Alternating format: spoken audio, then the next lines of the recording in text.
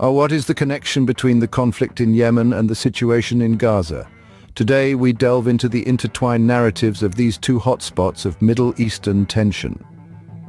In recent times, the conflict in Yemen has taken a new turn with US and British forces launching airstrikes targeting the Ansar Allah militia, also known as the Houthis.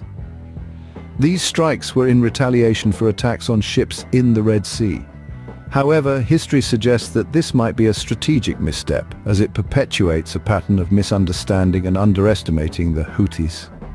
The Houthis, despite geographical and technological challenges, have established control over the Yemeni highlands and have launched attacks on Saudi Arabia and the United Arab Emirates at the same time. The world is witnessing an escalation of conflict in Gaza.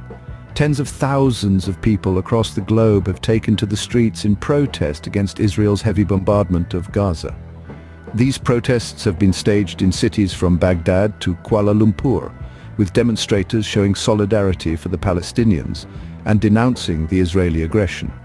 Interestingly, the Houthis have been vocal supporters of the Palestinians.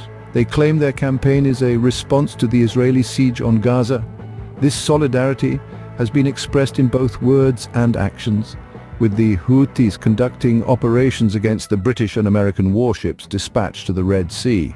The US Department of Defense reported that the first night of attacks involved over 150 munitions targeting more than 16 Houthi-controlled locations. This marks the first US military intervention in response to attacks on commercial ships since Israel's war on Gaza commenced.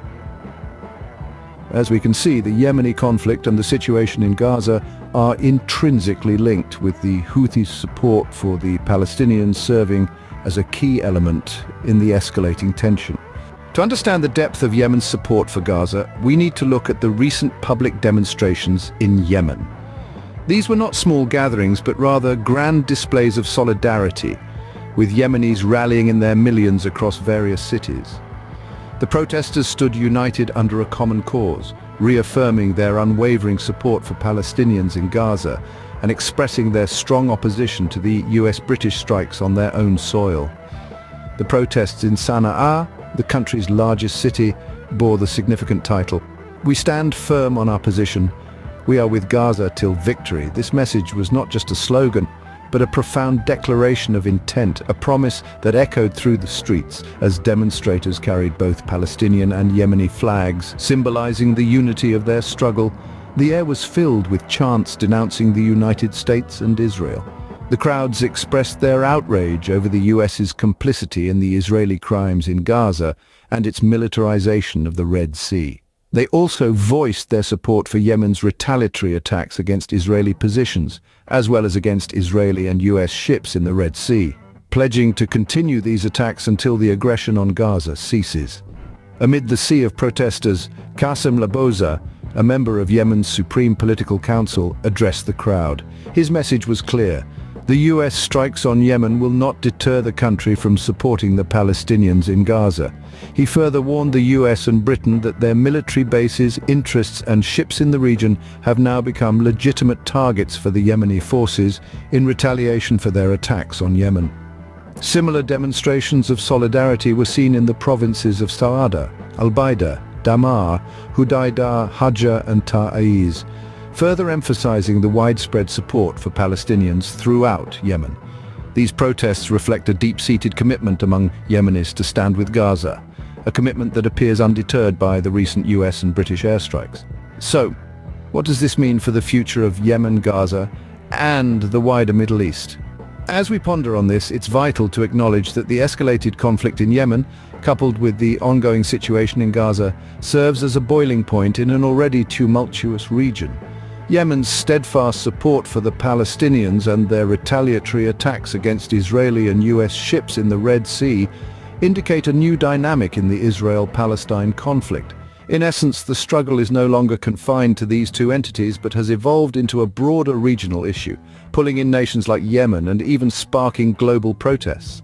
The solidarity shown by Yemen and the subsequent protests around the globe suggest that the Israel-Palestine conflict may continue to garner international attention, This could potentially put pressure on Israel and its allies, leading to shifts in their strategies or policies. However, it could also lead to an entrenchment of positions and further escalation of conflicts. The implications for US and British interests in the region are also significant, with Yemen declaring their ships, military bases and interests in the region as legitimate targets. The risk for these nations increases. This could lead to a reassessment of their involvement in the region or conversely escalate their military interventions further. Moreover, the formation of a multinational military coalition against Yemeni forces in the Red Sea by the US, a vital trade route accounting for 12% of global trade, signifies an attempt to safeguard commercial interests. However, this move could potentially escalate the conflict further, causing more instability in an already volatile region. In the face of these complex dynamics, the role of outside powers will be crucial. Their actions could either fuel the conflict or contribute to its resolution.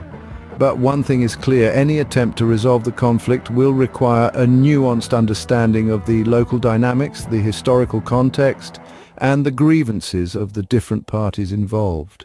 While the future remains uncertain, what is clear is that the intertwining conflicts in Yemen and Gaza will continue to have far-reaching implications, not just for the Middle East, but for the global community as a whole.